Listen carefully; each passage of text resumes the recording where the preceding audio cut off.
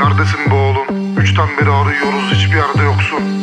Kuzen duymamışım ne oldu İki saate oradayım cihazlara doldu Kez olmadı yara Bertara